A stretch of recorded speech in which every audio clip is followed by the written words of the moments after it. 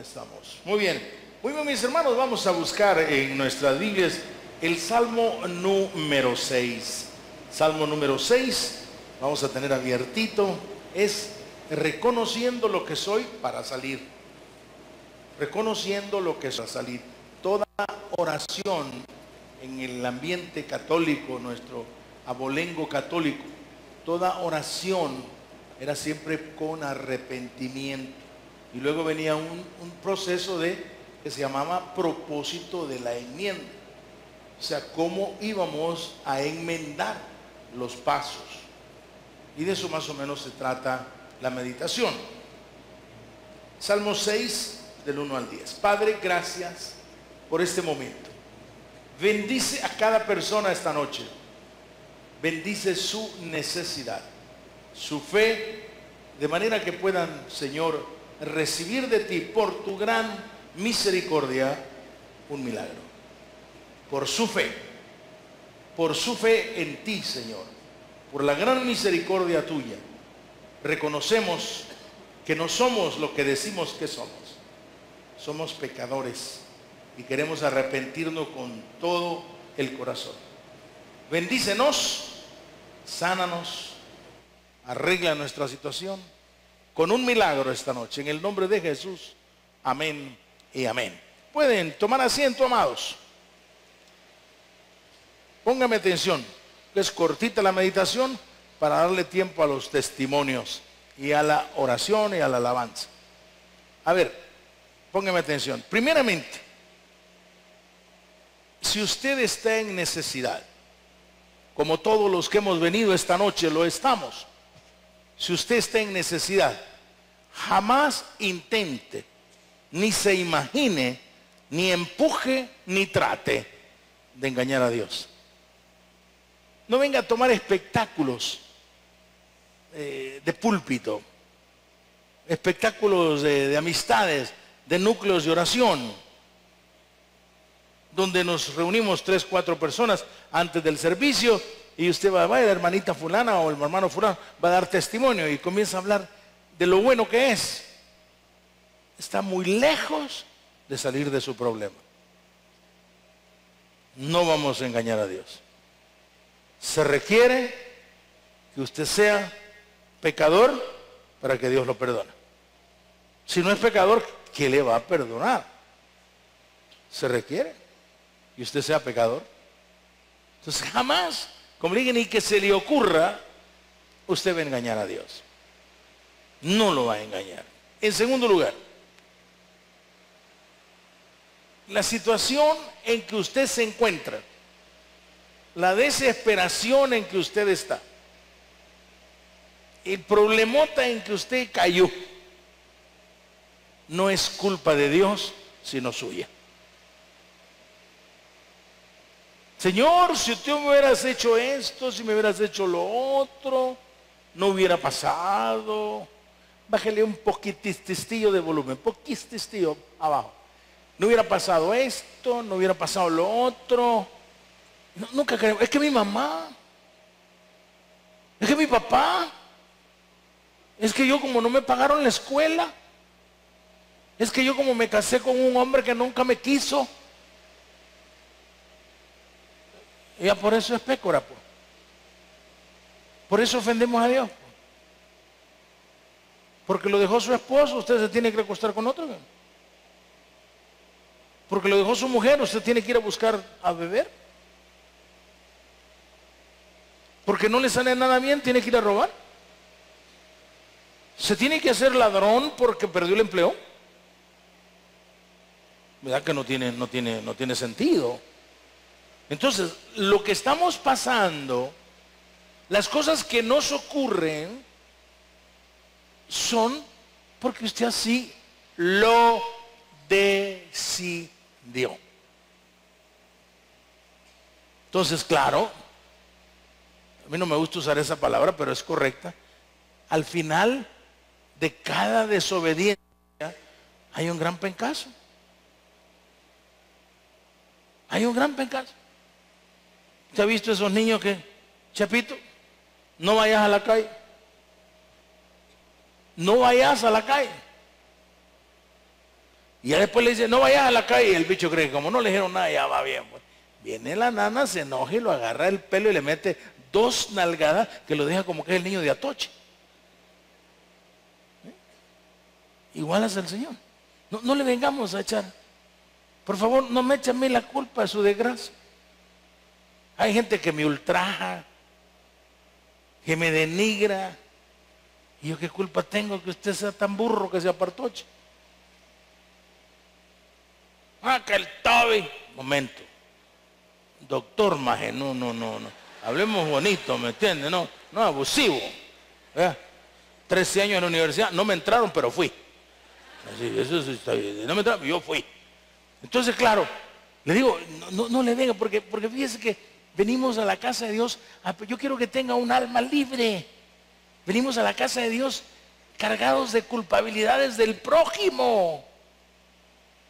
Que en mi casa no hay comida. Pues si te chupaste el pisto, o la señora se lo echó en el salón, o lo ocuparon para otras cosas que no era para lo que fue programado. Y ahora vienes tú y abres la refrigeradora y hasta la botella de agua te saca la lengua y que no hay nada. Y le echamos, qué barbaridad. Cuando yo era inconverso, cuando, no me venga con eso. Usted está como está porque usted decidió por sus propios medios. Y en tercer lugar, Dios a la larga a la corta, a la neta y a lo que quiera, siempre va a desenmascarar nuestras mentiras. Va a haber un momento que mientras tú no reconozcas quién eres, vas a estar al borde del abismo. ¿Por qué? Te lo voy a decir. Por ser un farsante espiritual. No quieres reconocer estás empecinado que no necesitas de Dios. Que sí, que hay que respetarlo, que sí, que hay que leer la Biblia, que sí, que hay que ir a los cultos, que sí, que hay que llevarle unos centavitos al hermano Toby para que coma. ¿Eh? Que no le olviden, que no le olviden.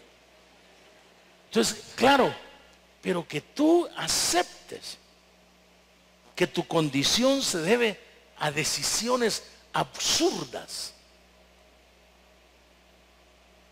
A decisiones, como hablamos el otro domingo, decisiones inicuas que siempre vienen a golpearte a ti mismo. Las decisiones inicuas son un boomerang. Ese juguetillo australiano que tú lo tiras y regresas. Y si no lo agarras bien, te cae en la cara. Lo tiras a una, altura así, no, no para arriba, no que así. Y él da una vuelta y regresa. Se llama boomerang te cae en la cara. Ahora, no vengas a decir, ahora, mientras no te, si no te desenmascaras tú, Dios lo va a hacer. Dios lo va a hacer. Te vas a meter en un lío, vas a salir en el diario, todo el mundo te conoce y te la van a cobrar. somos cristianos y te gusta y no te gusta, tienes que sostener tu, testimonio arriba aunque te enfríes. No es facultad del que se enfría andar chupando en la calle. Y Dios no va a hacer nada. Si en un tiempo tú fuiste testimonio del Señor. No, no me vengas después a pedir milagros grandes. Que a David no se lo sonaron por pécoro a David no se lo sonaron por asesino. A David no le violaron la hija, su otro hijo. Amnón violó a Tamar y Absalón mató a Amnón porque violó a la niña. Y Absalón le dio golpe de estado, lo echó descalzo. Y le dijo el profeta, mira, por lo que has hecho, la Betsabe y toda esa historia, fíjate cómo no me importa. Dios solo Él sabe lo que hace. Que Abigail quiere que el rey después de, tu persona sea el hijo de ella. Y yo he decidido que el rey de Israel y que el que va a construir mi templo sea Salomón el hijo de la pécora.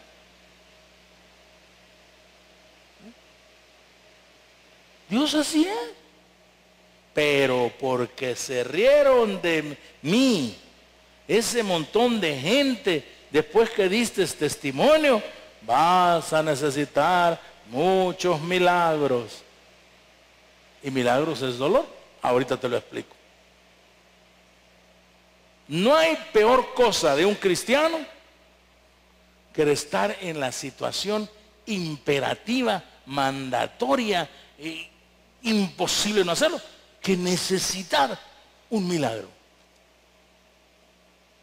Un milagro es desesperación. El que necesita un milagro es, una persona que está enajenado espiritualmente, maltratado, fuera de sí, quiere decir enajenado. Desesperado.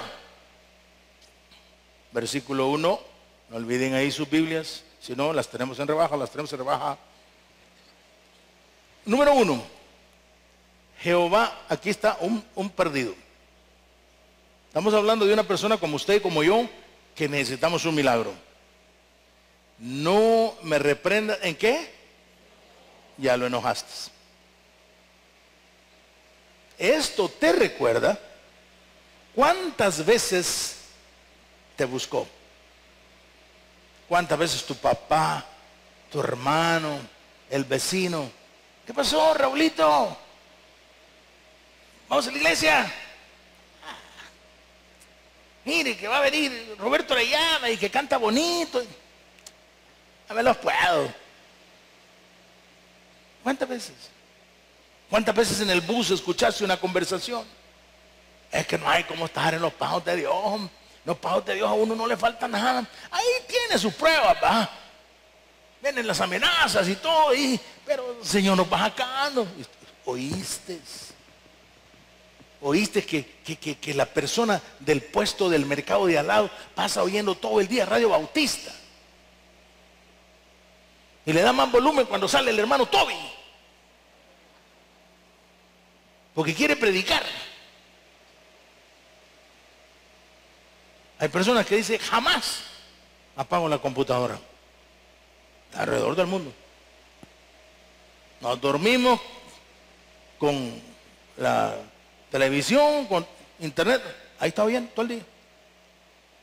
Ahora, dice aquí, no me, ni me castigues en tu ira ya lo elevaste. Pero aquí viene la misericordia. No le tengas miedo a tu estado contradictorio hacia Dios en que te encuentras esta noche. No le tengas miedo. Una de las grandes cosas de nuestro Dios es que todo, absolutamente todo, es arreglable desde las partes físicas. Mira, el carro quedó molido y lo debo. Lo mejor te regala otro el Señor, mamecita. Él es especialista en cenizas. Nadie puede construir nada de las cenizas. Nadie. Lo más que pueden es tilear, como decimos nosotros, ¿verdad? Usar las cenizas de tile. ¿Mm? Pero nadie puede, solo Dios hace personas enormes, buenísimas, de las de lo que nosotros mismos nos quemamos. Nosotros mismos nos quemamos. No, nadie te llevó. Tú te quemaste. Tú decidiste. Decidiste que Dios no vale la pena.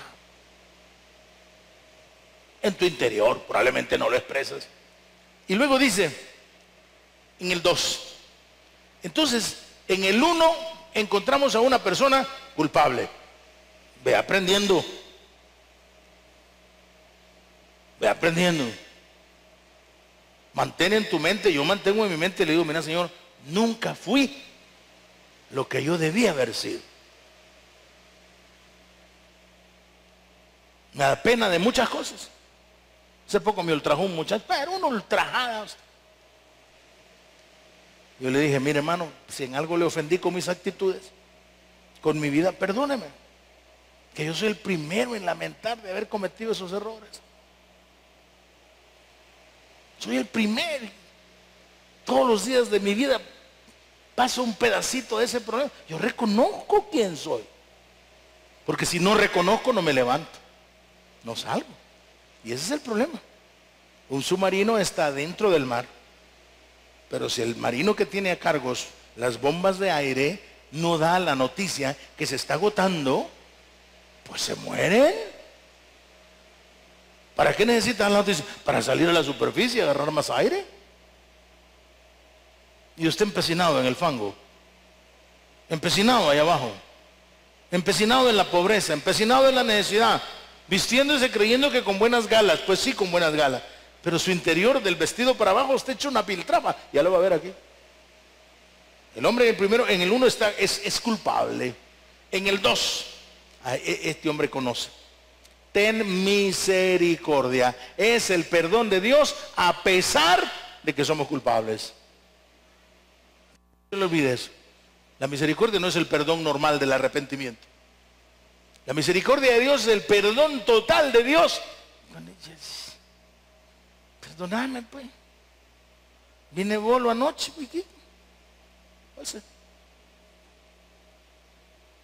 Yo hace poco conocí un, un diálogo, no estuve presente, donde la mujer le dijo al esposo, mira, yo he venido a pedirte perdón. Yo con ese hombre, yo me acosté, vos fuiste a la casa y lo encontraste ahí. Pero si he venido a pedirte perdón, no es para que discutamos el asunto. Yo ya lo reconozco y tú solo tenés que decir sí o no, perdona. Me parece. Y están juntos. Están juntos. El hombre solo dijo, mira, me vas a disculpar cuando me enoje, le dijo. Cuando me acuerde. A lo mejor te zampo tu manada. Pero aquella casita que tenemos allá, le dijo, la voy a dejar vacía. Para que te vayas allá unos días mientras me pasa la cólera. Se lo dijo porque digo, mira, perdonar esto duele. Perdonar esto duele. Entonces le digo, mira, ahora Dios, eh, ahí no se trata del perdón. O que es así, ¿verdad? Soy, soy, soy culpable. Me fui con el hombre, tú lo viste, tú Tú fuiste y me encontraste en la casa con él, donde yo vivía. Soy culpable, pero perdóname, es misericordia.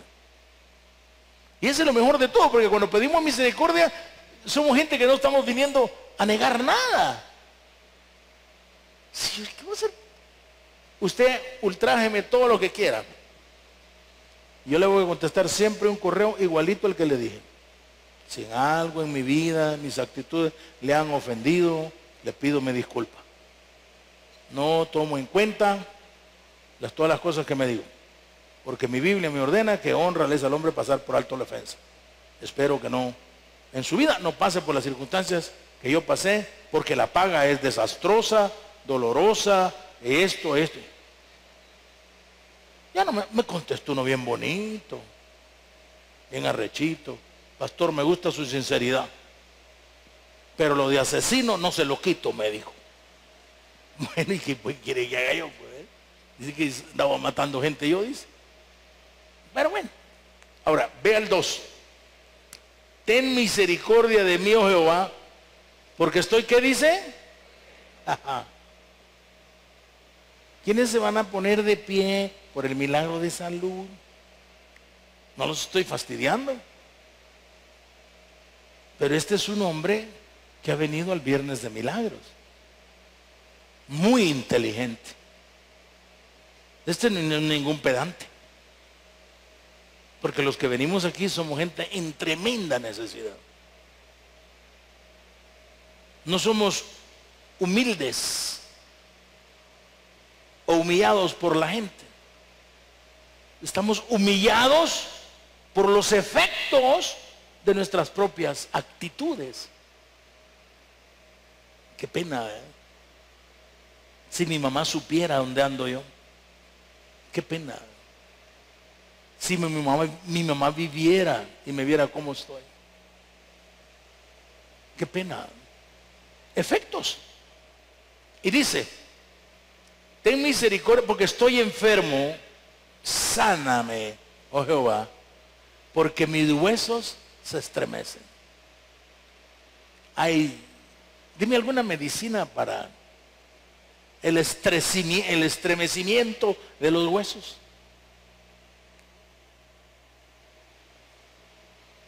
Estás afligido, abatido, ya no hay lo que hacer. Y menos mal que tienes que agradecerle a Dios y al Espíritu Santo que te veniste al culto donde está el Señor y donde Él tiene misericordia. Porque Salomón se lo dijo. A mí esa, esa oración de Salomón es maravillosa. Una noche de esta la vamos a estudiar cuando inaugura su templo. Y le dice, te hemos hecho este Señor templo para que mores, para que ya no estés en asuntos de tela, ni ranchos, ni nada. Pero cuando vengamos hacia ti con gran dolor y enfermedad, tú oirás de este lugar. ¿Ah? Aquí está usted. Y este hombre dice aquí, y este hombre dice aquí, porque estoy enfermo, sáname, porque mi cuerpo se estremece. Mira el 3. Mi alma también está qué? No tiene sueño. Te caen mal los frijolitos de más tarde. ¿Desde cuándo acá tienes colitis? ¿Eh? ¿Desde cuándo acá tu estómago burbujea? Y voy a ir más allá como psicólogo. ¿Desde cuándo, cuándo acá, señorita hermosa, hembrita, su periodo menstrual ha comenzado a fluctuar? ¿Estás es nervioso? ¿Eso es de preocupación? ¿Eso es de depresión? Y usted dice, ah, a mí no me importa si viene o no viene, de todos no tengo a ningún hombre conmigo. Está bien. Pero si tiene algún hombre con usted, ay, ese agüita es serio. Siete de la mañana te habla el muchacho. Hola. ¿Qué pasó? Llegó la visita. Ay, decirle la verdad. ¿Eh? Pasa todo el tiempo la atención. Y dice ahí, mi alma está muy turbada y tú Jehová, ¿hasta cuándo? ¿Sabe qué quiere decir eso? Y lindo. Lindo. Ya no aguanto. Mis huesos, mi mente, ya no digamos mi bolsillo. Ya no aguanto. Ay, ay. ¿Usted ha oído eso? Verdad? Quisiera morir. ¿Varones siempre? No, pastor. Esta no es vida. Ay, no. Usted está hablando de que ya viene el Señor. Apúrelo. Tiene razón. Su situación es difícil. Dice también el 4 vuélvete, oh Jehová, libra mi alma. No hay gozo en la salvación. No hay gozo en la alabanza. No la cantamos, la tarareamos o la titubeamos o la maumamamamos.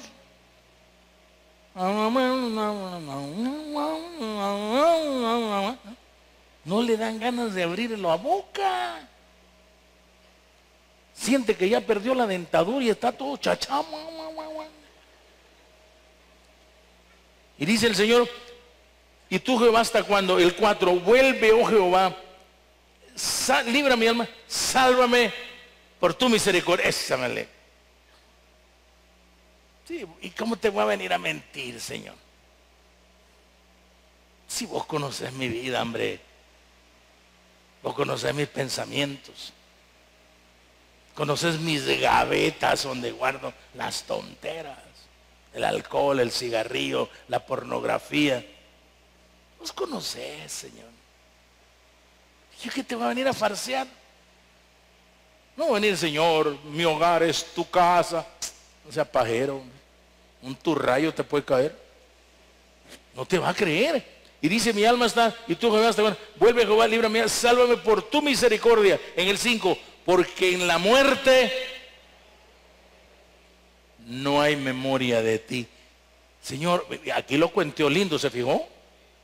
Si me muero, no te voy a alabar. Lo cuenteó bonito. Usted muchas veces le dice, Señor, no me lleves, porque tengo que, yo tengo, bueno, uno mayor ya tiene 19 años y, la otra hija tiene, tiene 16. Yo le digo, Señor, quiero criar mis hijos, bueno. Si no se casan, no importa, pero que sean por lo menos profesionales. Uno siempre está pensando, ¿verdad? En, en mis hijos. Ay, y por el amor a mis hijos, no me lleves. No, este fue más fino. Y le digo, ¿y en el cementerio cómo te voy a cantar? ¿Qué ondas? Si a mí me gusta cantarte. Cada vez que nos quedamos a la administración de fe, yo lloro y ves que lo hago de corazón. Una amiga me decía esta mañana, pastor, yo me senté por, por el mezanine tal día y mire, que yo nunca había visto, dice, una cantidad de varones llorando pero con gozo. Y razón, ¿por qué no le dices? Y en el cementerio me dio, ¿cómo te canto?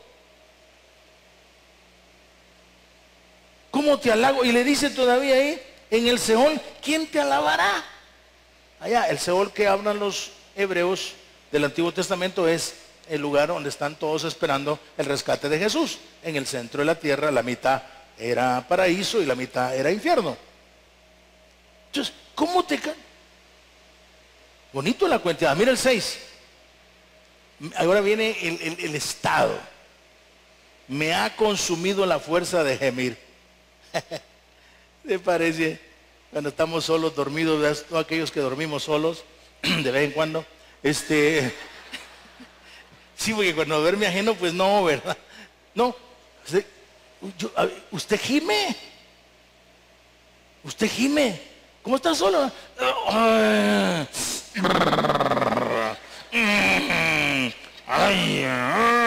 ¿Eh? ¿Usted solo? ¿Ves que mi hijo entra y dice, ¿qué te pasó? No, estoy haciendo ejercicio.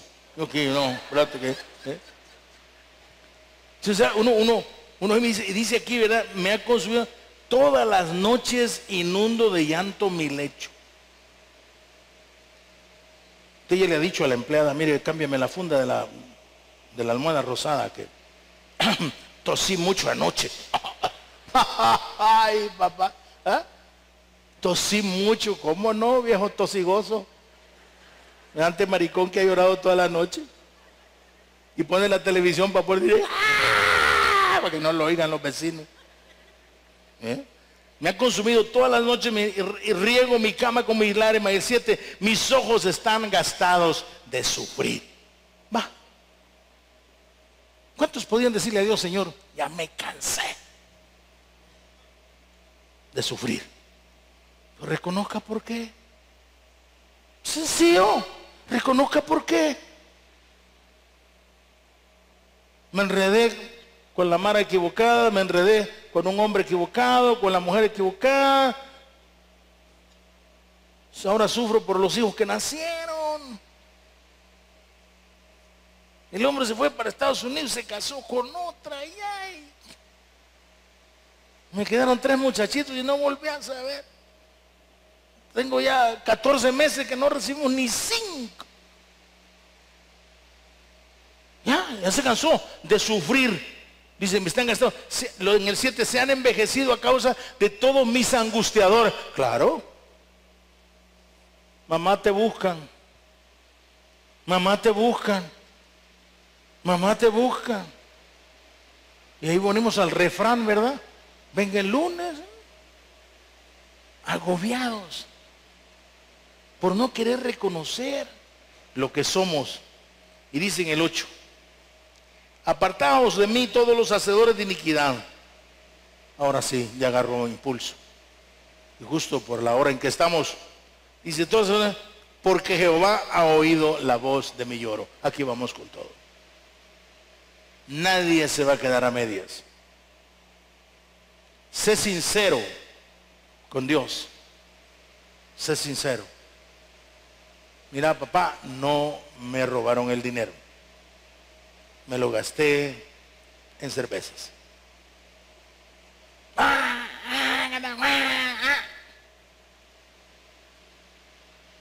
Me lo gasté en cervezas. Pero hasta ahí llegó el papá, pues le fue sincero. Mira, porque me dijiste la verdad. Porque me, sea honesto con Dios. Dice en el 9, dice, porque Jehová ha oído la voz de mi lloro. Oílo bien. ¿Es tus lágrimas sinceras? ¿O estás queriendo también apantallar a Dios? Te dije al principio que no lo vamos a engañar, jamás. No lo vamos a engañar. Nunca. Él nos va a desenmascarar las mentiras, porque Él no puede quedar mal. Ay, los hijos de Dios no tienen para comer. Ay, mira, ahí los manda el hermano Toby a las esquinas con un cumbito que anden pidiendo en la esquina. ¿Qué, ¿Qué le pasa? Si es que para pagar el templo Gamaliel, el templo Gamaliel. ¿Y qué le pasa? Dice, ¿ese es tu Dios? Hace muchos años cuando yo me iba a graduar, yo hice una oración al Señor y le dije, ¿ese es tu, tu cristianismo? Esto que estoy pasando aquí ya faltándome dos meses para... ¿Ese es tu cristianismo? Señor, discúlpame, perdóname, hay que te quede. Eso no es lo que yo esperaba. Yo creí, se levantó aquella presión al día siguiente me nombraron catedrático de la universidad, me llegó un cheque por 700 dólares y yo estaba molesto porque mis hijas me pidieron ir a comer Taco Bell y no había pisto. Y me hizo una broma que me partió el alma. Me dijo la hermana Patti, eh, vamos, vamos, vamos a, después del, culto vamos a, comer. Le dije, no hay. Y yo, ¿y cuándo yo en El Salvador? No, hombre. Y dije, no hay. Y me dice, pues, ¿por qué no vamos a cantar? Para que nos den 20 dólares y vayamos a comer.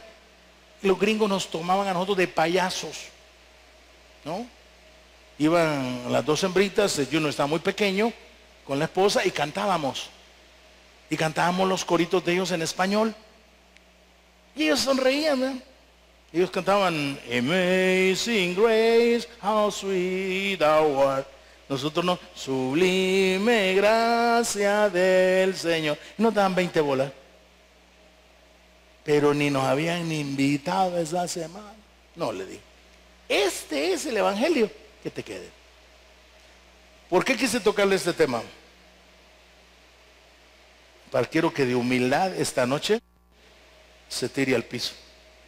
¿Por qué al piso, pastor? Porque de ahí no pasa, hermano. Ahí no pasa. Usted ve que toda la gente para adorar a los reyes, a los dioses, se tiran al piso. Y pone, tírese al piso. Porque desde el momento que estamos en el piso, ahí va a venir Dios a levantarlo. Denle un buen aplauso al Señor.